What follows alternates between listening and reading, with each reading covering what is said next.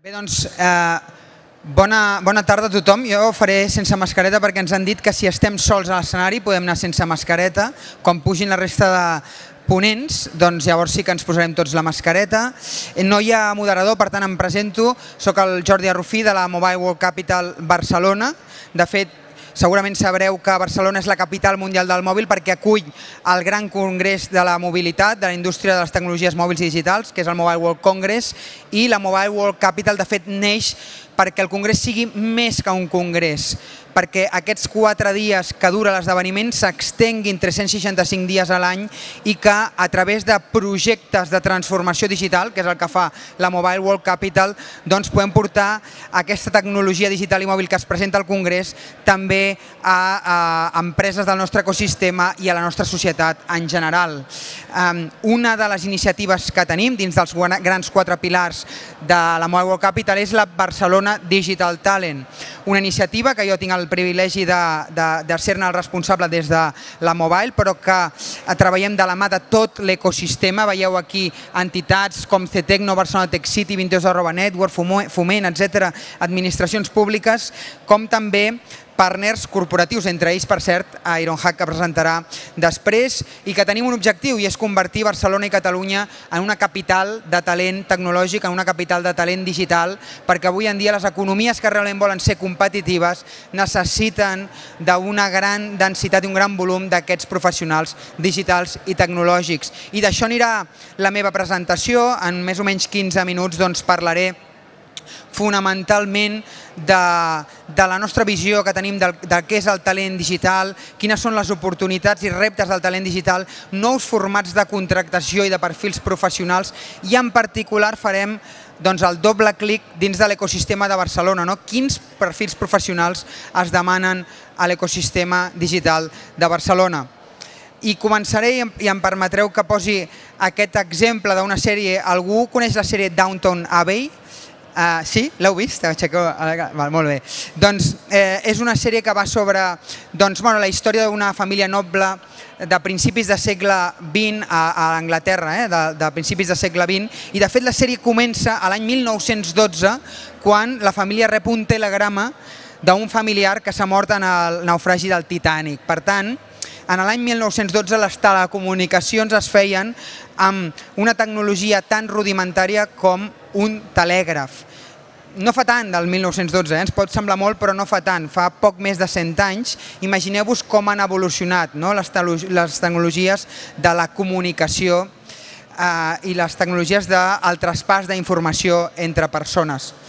Um, llavors, era tot molt més fàcil des del punt de vista tecnològic. Parlo de principis del segle XX. Era tot molt més fàcil.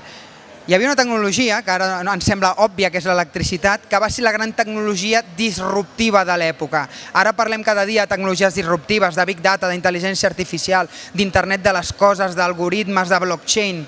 En aquella època només va haver una tecnologia que ens va canviar la vida.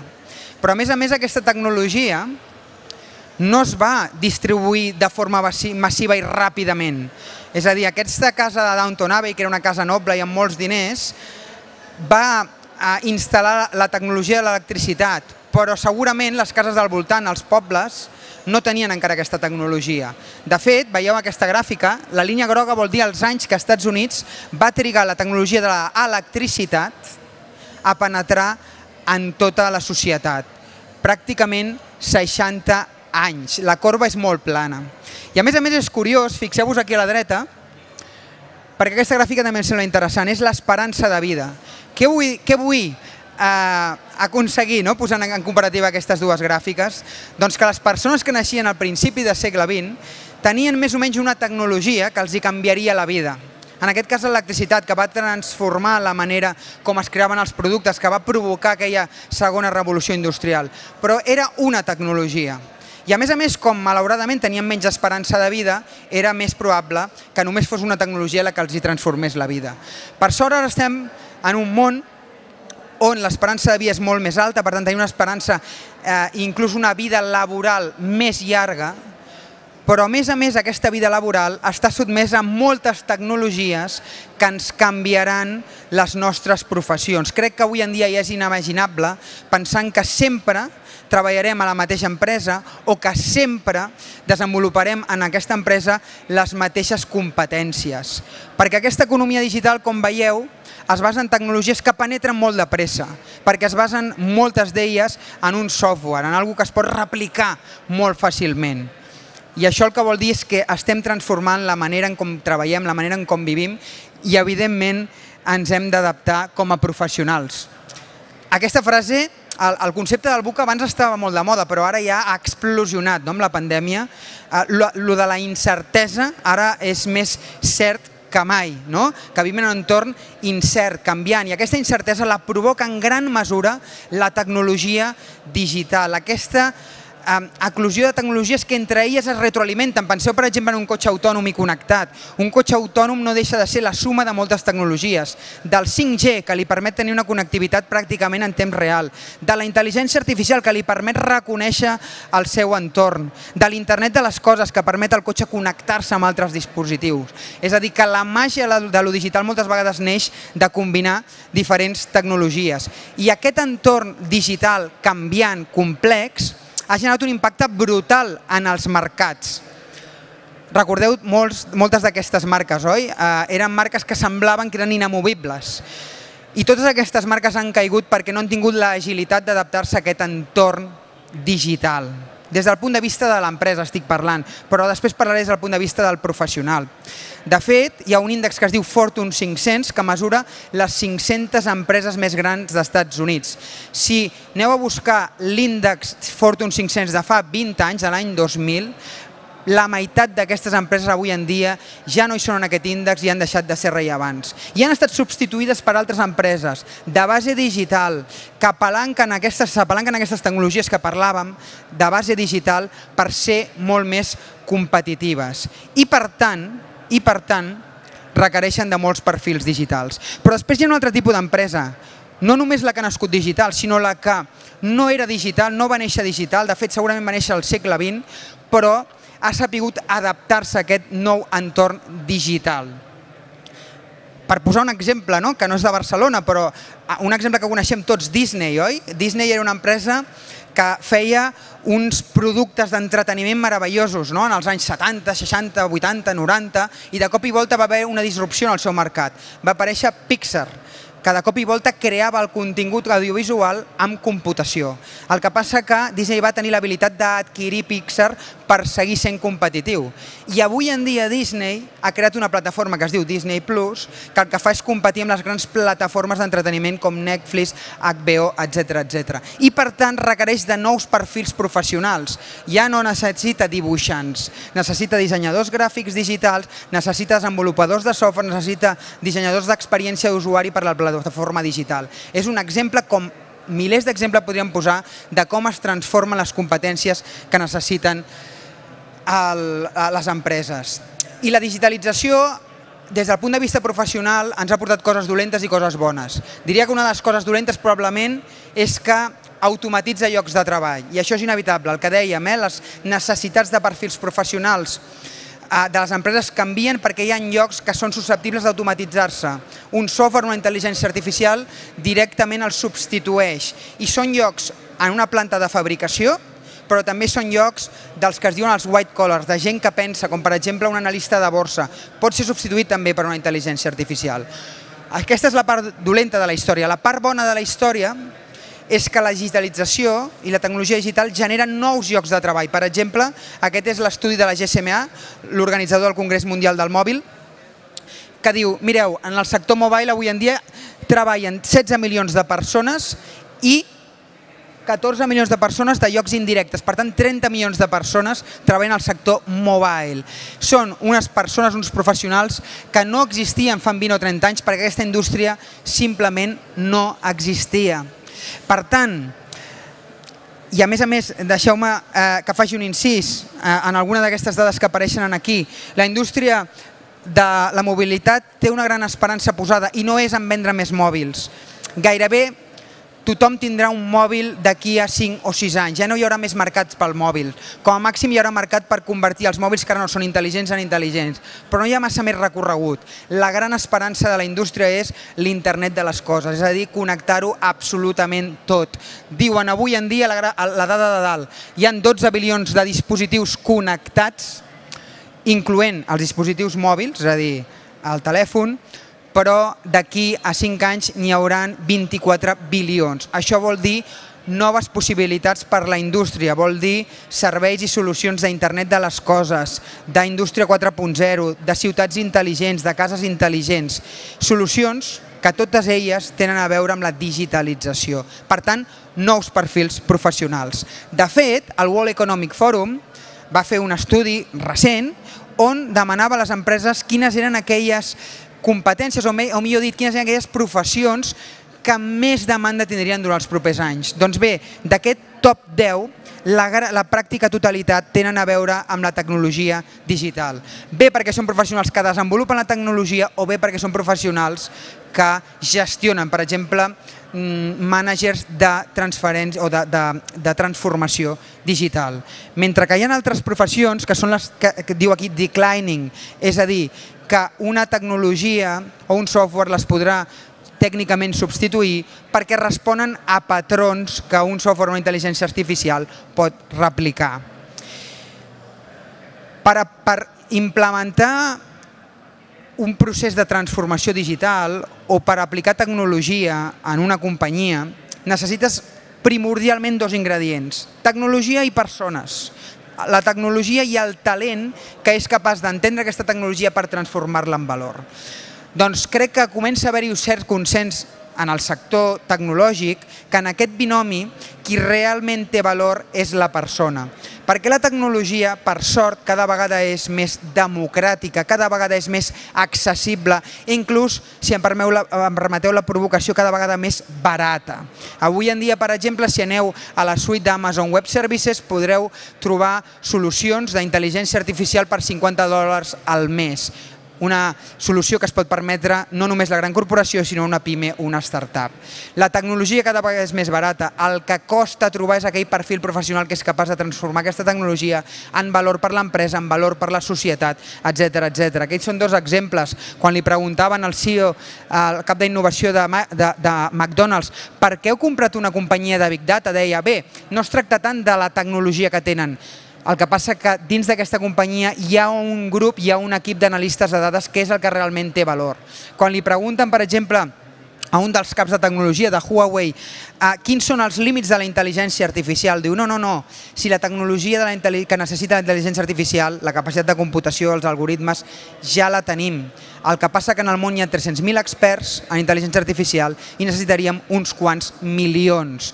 Per tant, insisteixo en el concepte, avui en dia el que té valor realment no és tant la tecnologia com el talent capaç, capaç de transformar aquesta tecnologia en valor.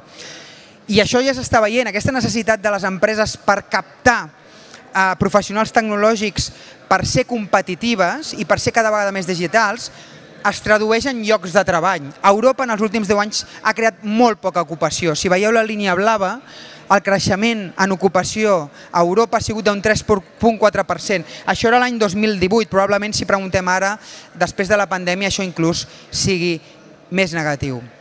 En canvi, en el sector purament tecnològic, en, en, en perfils ICT, és a dir, llocs de treball que s'han creat a Europa en el perfil ICT, ha augmentat un 41,3%. És a dir, multiplica per més de 10 vegades la capacitat que té Europa de generar llocs de treball. Hi ha una clara tendència de demanda d'aquests llocs de treball.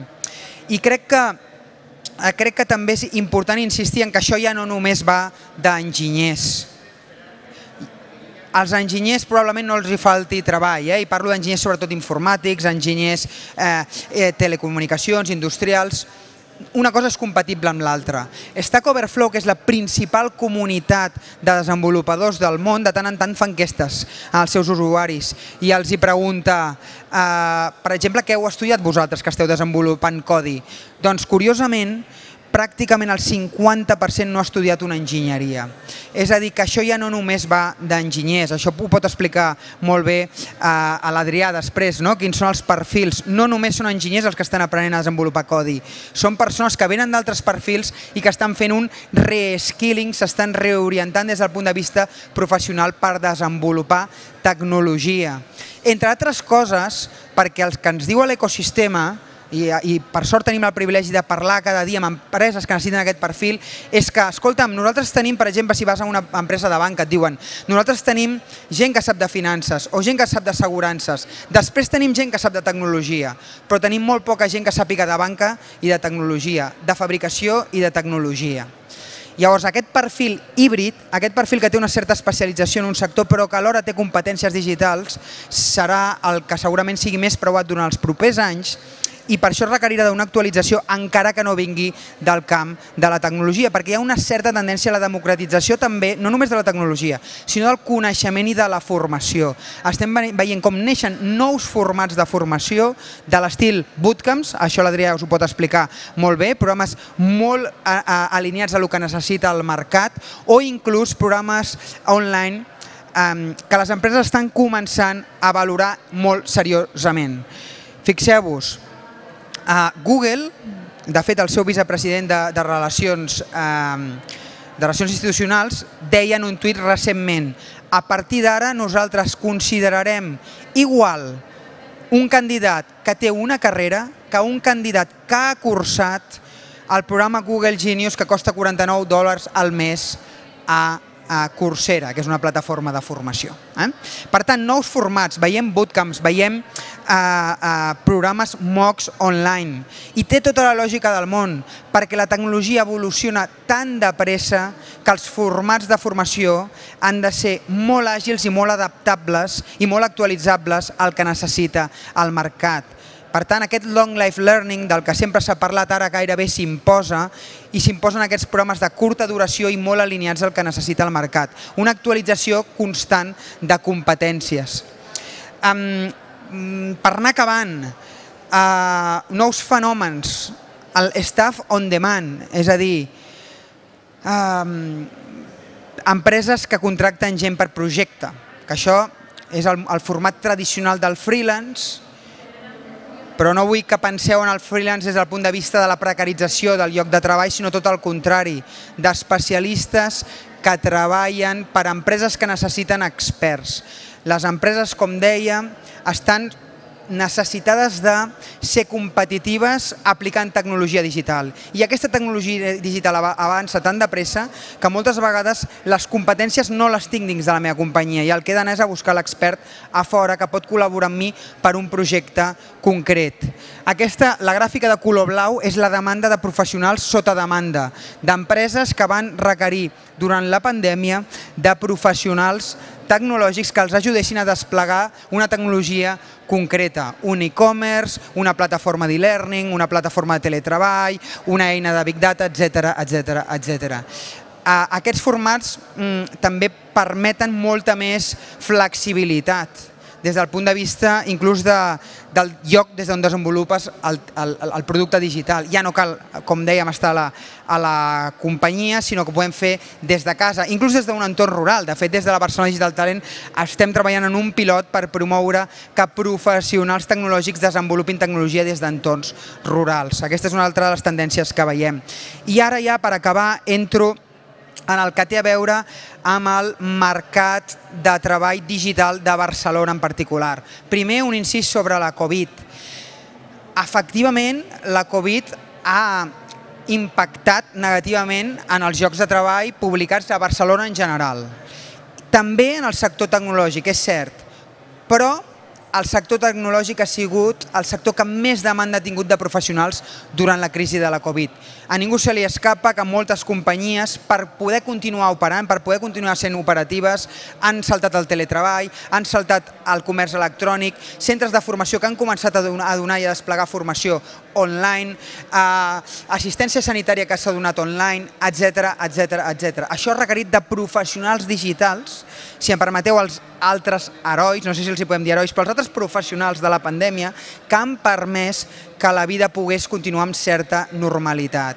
Això què vol dir? Que durant els mesos de la pandèmia es van publicar més de 6.000 ofertes de treball a Barcelona en el camp digital. Eh, molt més lluny estaven altres professions que han caigut eh, molt més. No? El management, per exemple, n'hi havia 9.900 ofertes entre els mesos de gener i febrer i han caigut els 3.700 els mesos de març, abril i maig.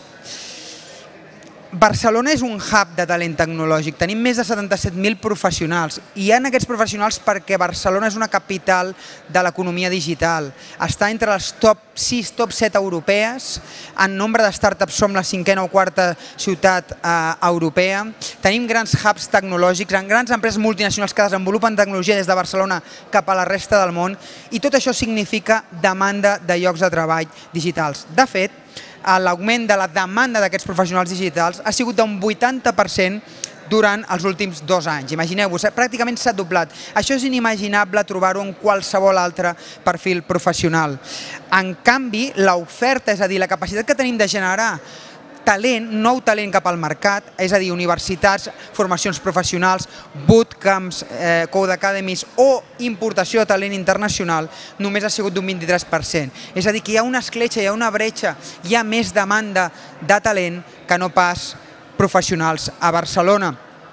I un altre tema important, molt poques dones en el sector, hi ha un gran repte, aquesta de fet és una dada de les optimistes, normalment són dades del voltant del 8%, um, necessitem moltes més dones en el sector tecnològic, com és obvi. Última slide que us presento.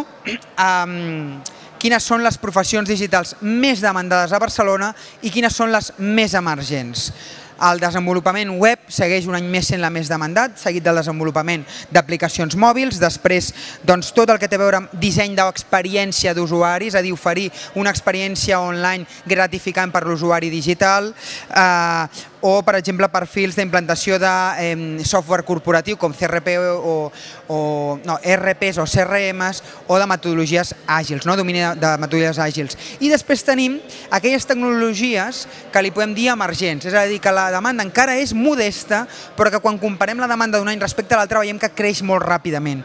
Perfils d'intel·ligència artificial, d'internet de les coses, de 3D printing o de blockchain. La blava la, la barra blava significa el nombre de publicacions d'ofertes de treball que van haver-hi durant l'any 2019 a Barcelona en cadascuna d'aquestes professions.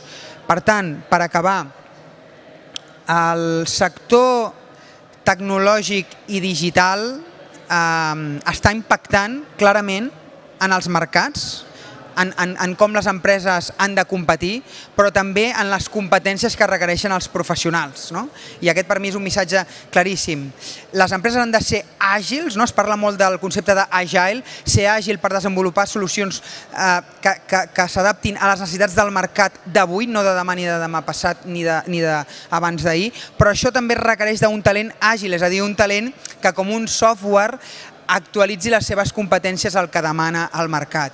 Barcelona estem convençuts que és el lloc per ser-hi en aquest sector, és un ecosistema potent de startups, de hubs, de eh, consultores d'IT, de centres de recerca, d'empreses grans multinacionals eh, tradicionals que s'estan reinventant i s'estan digitalitzant i per tant necessiten molt d'aquest talent i a més a més crec que tenim una gran oportunitat perquè ja no només, no només va d'enginyers, qualsevol que tingui les ganes, l'actitud i, i pugui, okay, que pugui contribuir, té formats per adquirir aquestes competències de forma més o menys àgil i incorporar-se i sumar en aquest ecosistema i aquest hub de talent que volem que sigui Barcelona.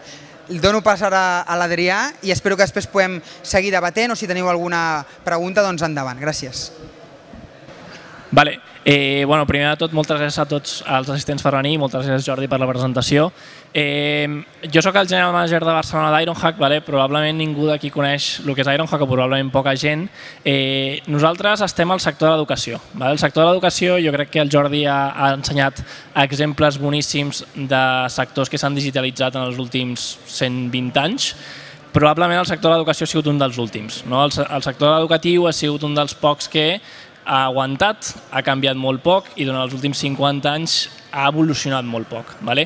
Eh, això eh, ens va comportar eh, que si mirem el 2012 ens trobàvem en, en aquesta situació a Espanya. Vale? Teníem un atur juvenil del 57%, però a la vegada un atur del 0% al sector IT, 100.000 posicions, no, un milió de posicions obertes en el sector IT a nivell europeu i sobretot un creixement d'aquest sector del 10% anual pel següent, esperat pels següents 15 anys. No? Aleshores, en aquesta situació ens trobàvem com dient hi ha un gran gap digital, però no sabem com solucionar-ho.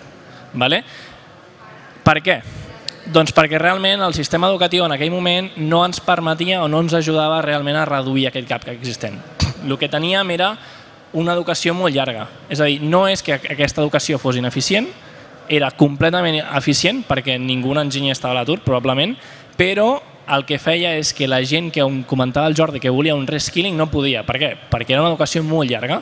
Aleshores, el que provocava això és que qualsevol persona que volgués fer un reskilling amb certa edat, és a dir, més de 23 anys, doncs no s'ho podia permetre, perquè era 4 anys de tornar a començar. No? Aleshores, a part d'això, el que veiem és que també cada vegada hi havia més diferència entre el que volien les empreses i el que oferien l'educació en aquell moment. No? És a dir, l'educació estava sent poc agile, que comentava el Jordi, era algo que les empreses necessitaven completament. Per què? Perquè les empreses canviaven a una velocitat molt gran i el sector educatiu, com era un sector molt gran i molt robust, no podien adaptar-se a aquesta educació. Això feia que les necessitats de les empreses cada vegada estiguessin més lluny del que s'ensenyava i que, per tant, el temps d'adaptació dins de l'empresa també cada vegada prenia més temps. Això es veia encara, encara més agreujat pel tipus de professor que teníem, no? que cada vegada era un professor més teòric i menys pràctic i, que, i per tant cada vegada sabia menys el que hi havia al mercat i el que necessitava aquest mercat. I finalment el que veiem és que els alumnes el que feien era aprendre per les notes. És a dir, el que feien era estudiar d'una manera bastant teòrica per superar uns exàmens i per superar unes notes. No? Aleshores, cada vegada veiem que era un sector doncs, que s'estava separant més de lo que realment el, el mercat necessitava. Quina va ser la solució? Que bueno, empreses com Ironhack en aquell moment, però que com veurem al final moltes altres empreses vam trobar. Doncs el que vam trobar va ser un model educatiu nou. Vale? És un model que, com comentava el Jordi, se li diu bootcamps. Vale? La paraula bootcamp ve de lo que els militars als Estats Units passaven, quan, el training que passaven quan, quan havien d'entrar a la Navy, era un, un entrenament superintensiu, molt dur, aleshores, com el, el, la, la nostra educació té certa similitud, li vam nombrar així, no? Aquests cursos són cursos supercurts, Vale? Els nostres duren entre 9 i 12 setmanes, però eh, si mires al mercat el màxim són 5 mesos. No? És a dir, que realment hi ha una, una, una, una feasibility, és a dir, realment la persona pot deixar de treballar durant aquest curs temps, eh, eh, temps de treball per eh, poder obtenir aquest reskilling. El, el currículum és un currículum completament agile, és a dir, es va adaptant constantment a el que el mercat necessita, però també hi ha aquesta adaptació, no? hi ha aquesta conversació contínua amb el mercat per entendre quines són les tendències, perquè com comenta el Jordi, hi ha un gap de talent digital molt gran i nosaltres hem de ser un dels principals actors per cobrir aquest gap. Per què? Perquè el talent és el que ens seguirà ajudant a digitalitzar-nos. Si no tenim aquest talent i aquest talent no està format, cada vegada una de dos, o, o hi haurà més diferència entre les empreses que obtenen el talent i la que no, o la digitalització anirà molt més lenta de, de lo que la, la indústria en general espera. Algo molt important, nosaltres no treballem amb notes i no treballem amb exàmens, treballem amb projectes. És a dir, els estudiants no fan exàmens, no tenen que estudiar teoria, sinó que el que tenen que fer són projectes reals.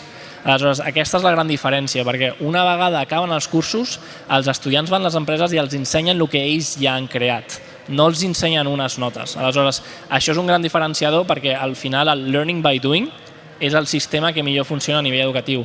Aleshores, eh, tot el nostre eh, sistema educatiu va al voltant d'aquest learning by doing i sobretot de learn how to learn. Vale? És a dir, com comentem, el nostre currículum canvia constantment. És a dir, que el que nosaltres ensenyem als estudiants no és el que treballaran el rest de les seves vides. Nosaltres el que ensenyem és el framework perquè les persones siguin capaces de seguir aprenent. perquè ho necessitaran. És a dir, nosaltres el primer dia d'escola els diem això que aprendreu aquí us durarà sis mesos un any. A partir d'allà haureu de seguir aprenent perquè la digitalització és una que afecta tots els mercats, és a dir, vagis al sector que vagis, ho necessitaràs, afecta encara més el sector tecnològic, que és on realment la majoria dels alumnes hi van, i per tant hi ha una necessitat d'aquest long life learning perquè si no cada vegada eh, en dos anys tornaran a estar obsolets i tornaran a necessitar fer un curs per tornar-se a posar al dia, no? però això és una que realment ells mateixos han de fer. Resultats. Us parlaré de, ràpidament dels resultats a nivell d'Inohack. Vale? Nosaltres vam, vam, ens vam llançar el 2013, vam ser la primera escola de tecnologia a nivell europeu, Vale? Eh, per una miqueta de context, aquest tipus d'escola de tecnologia amb el model Bootcamp va sortir als Estats Units pel voltant del 2010 i nosaltres vam ser els primers que importar aquest format a Europa. Vale? Vam arrencar les nostres operacions a Espanya, els, els campus de Madrid i Barcelona van ser els primers. A dia d'avui hem graduat ja 6.500 alumnes. Ho compares amb qualsevol universitat i està molt lluny. Val? És a dir, es, tenim clars que som un sistema d'educació que encara hi ha molt poca gent que, que coneix i que inverteix en ella, però el que veiem és que és un format que creix a un 2x cada any. És a dir, fa, eh, jo miro el 2015 i graduàvem 200 persones, aquest any graduarem 2.500. No? Aleshores, estem tenint un creixement molt gran, a Barcelona ja hem ajudat a més de 1.200 persones a integrar-se al món digital, el que estem molt, molt contents és realment d'aquesta red de partners que tenim, que a lo que els anomenem hiring partners. Vale? Això són les empreses que realment confien en nosaltres, sobretot confien en els nostres estudiants i són els que fitxen aquests estudiants. Vale? Això el que vol dir és que estem realment ajudant el, ajudant el sector a digitalitzar-se. Vale? Com sabem que funciona? La dada més important, el que diem el placement rate, vale? que és el número de gent que troba feina. Vale? Aquest 85% és un 85% tres mesos després de graduar-se, és a dir, si mirem des del sempre, probablement aquesta dada seria diferent, però nosaltres sempre mirem a 90 dies postgraduació. Això us ho ensenyo aquí, però òbviament amb el Covid ha canviat. Vale? Aquestes són les dades que tenim auditades, vale? perquè nosaltres fem això de manera auditada cada any. Òbviament aquest any ha reduït, és a dir, com ha dit el Jordi, el Covid ha afectat a tots els sectors, incluïts el digital, i per tant hem vist que és un mercat que, com tots els altres, s'ha congelat de manera momentània, molt menys que altres mercats, però òbviament aquesta, aquesta dada està canviant. Mica en mica s'està recuperant, és a dir, just quan el Covid va afectar vam tenir un, un, un, un, bueno, una forta afectació, mica en mica veiem com les empreses tornen a contractar i cada vegada recuperen més i realment les empreses digitals són les que s'estan recuperant més ràpid. Eh, i per tant creiem i esperem que en cert temps puguem tornar a estar a sobre aquestes dades, però per mi realment el que és molt important és que ja no estem sols, és a dir, només a nivell de Barcelona hi ha altres 20 escoles de tecnologia.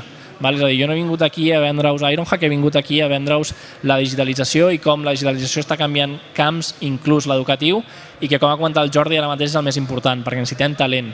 Vale? Aleshores, ara mateix ja hi ha més de 20 escoles a Barcelona eh, ensenyant amb el model bootcamp, ensenyant amb models curs, ensenyant amb models pràctics perquè la gent pugui fer el, aquest reskilling, no? És a dir, que si tu quan has tingut 18 anys no has escollit la carrera adequada per lo que tu volies en aquell moment, que tinguis la possibilitat de canviar-ho i de canviar-ho d'una manera curta sense posar en pausa la teva vida per un període de temps massa llarg. Eh, no ho he comentat al principi, però realment aquests cursos ara mateix en tenim tres. Vale? El, el que fa més temps és el de web development, és el de desenvolupament web. Vale? Aquesta, aquest, aquesta és la posició més demanda, és a dir, les empreses cada vegada necessiten més talent a nivell de, més talent a nivell de desenvolupament web, eh, però les altres dues estan creixent. Vale? encara estan lluny però estan creixent. La segona és el UX UI design, vale? és a dir, el que se li diu a l'experiència d'usuari, és a dir, perquè us és molt més fàcil utilitzar els vostres mòbils i navegar per les pàgines web que fa 5 anys. És purament per això, és a dir, hi han dissenyadors que el que fan és intentar entendre què és el que l'usuari entén com a senzill i intentar millorar el disseny de, totes, bueno, diguem, de tots els productes tecnològics perquè cada vegada li sigui més intuïtiu a l'usuari poder navegar per allà. I l'últim que vam arrencar, és el de, bueno, ara ja fa dos anys, és el d'anàlisi de, eh, de dades. Aquest és un que està creixent molt eh, perquè la demanda creix molt. És a dir, fa 10 anys les empreses tenien dades però no les emmagatzemaven. Com comentava el Jordi, ara mateix eh, Amazon té productes superbaratos per fer que qualsevol persona pugui contractar Amazon Web Services, pugui col·lectar dades i això fa que hi hagi la necessitat del talent que entengui què es pot fer amb aquestes dades. Vale? Un punt que aquí no ho hem comentat perquè l'estem a punt de llançar, estem llançant també la ciberseguretat. Vale? La ciberseguretat és una que cada vegada és més necessari, crec que el Covid ho ha deixat superclar perquè empreses com Zoom, que és una, una plataforma que tots hem utilitzat, ha tingut problemes de ciberseguretat i això és perquè realment hi ha molts pocs professionals en el mercat que facin això i, i estem arrencant ara mateix amb aquest programa perquè també esperem que sigui un dels següents punts a nivell de talent que sigui necessari en els següents anys. Com us comentava, vam arrencar a Barcelona i Madrid, però aquest creixement ha sigut exponencial, és a dir, ara mateix ja estem a nou ciutats en tot el món, és a dir, a part de Barcelona i Madrid, vam anar a les Amèriques, o sigui, vam estar a Miami, després vam tornar a Europa a llançar París i Berlín, després vam tornar a llançar ja a Latinoamèrica, Mèxic i Sao Paulo, i després també hem llançat Amsterdam i Lisboa. No? I ara, gràcies al Covid, també el que hem llançat ha sigut un programa completament remot.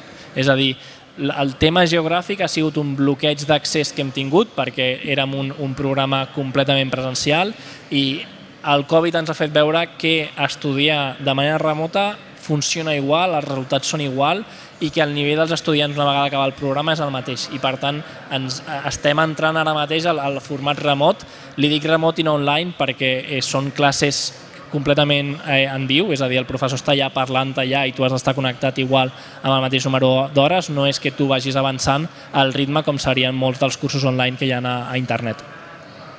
Però bueno, per, per resumir una de tot, perquè també si no, no volem deixar una miqueta de temps per preguntes. Ah, no ho he comentat al principi ni el Jordi, però la Ida, que era la tercera, eh, la, la tercera persona que havia de parlar avui, ahir estava en febre i per temes de seguretat hem preferit que no vingués.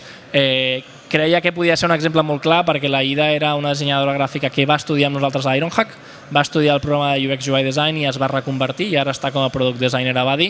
Eh, per tot el que hi ha actualment en febre no, no volíem que vingués. Aleshores, com, com hem comentat des del principi, eh, la, generació, la generació digital ja no és el futur, és el present. Vale? Eh, I ja està en tots els sectors, inclú, inclús l'educatiu, i com comentava el Jordi, ja no són el producte sinó que és la gent. La gent ha de ser digital perquè hi ha un, un gap de talent molt i molt gran el, la necessitat és global, és a dir, no és algú de Barcelona perquè som la capital del, de, de tema de startups, sinó és algú que en qualsevol ciutat del món et pots trobar, inclús cada vegada més pots trobar de manera remota, és a dir, si tu probablement vas a Bali, allò és un tech hub de talent, però no d'empreses, per què? Perquè tot el món treballa en remot, és a dir, que cada vegada estem globalitzant molt més aquest món, Eh, I com us comentava, no? Eh, no és el món digital en general, sinó sobretot també el món educatiu digital. No? Hi ha aquesta gran necessitat pel talent i és una que hem de solucionar perquè si no, no podrem créixer al ritme que esperem créixer com a, com a indústria. Eh, I i algo que ha comentat el Jordi, hem de ser àgils, hem d'adaptar-nos. La paraula és, és adaptability, és a dir, si el que no s'adapta mor i en el món digital això és el més important. Si no ens adaptem als canvis que hi ha i als canvis que es requereixen al mercat, cada vegada estem outdated, és a dir, no he parlat dels, del tipus de perfil que ve d'estudiants, però un tipus de perfil que ve és gent que era, per exemple, programadora fa 20 anys i que està en tecnologies molt antiquades. Aleshores, aquesta persona és una persona que sap programar, però sap programar amb llenguatges que ja no es porten. No? I, òbviament, com mai ha seguit aprenent, no sap com aprendre. Ell és expert en aquell llenguatge, aquell llenguatge ja no es necessita, què fa? Doncs realment això és un exemple de que no només aprenent a programar ja tens la vida resolta per sempre, sinó que t'has de seguir adaptant i has de seguir eh, estudiant i movent-te en la direcció que el mercat va. Així que dit això, eh, moltes gràcies. Eh, Jordi, ja pots tornar i us deixem 5 minuts per preguntes. Qui tingui preguntes, pugeu aquí eh, perquè així tot el món us escolti. Gràcies. Que potser no hi ha cap pregunta. Sí, hi ha preguntes. Algú, algú té alguna pregunta? doncs... Tanquem, no? Si no hi ha... Sí. Bueno, doncs si no hi ha preguntes, moltes gràcies per l'atenció i per aguantar 40 minuts. Eh, I qualsevol Sí, persona que qualsevol vulgui cosa parlar amb nosaltres parlar individualment, eh, encantats. Gràcies. Moltes gràcies.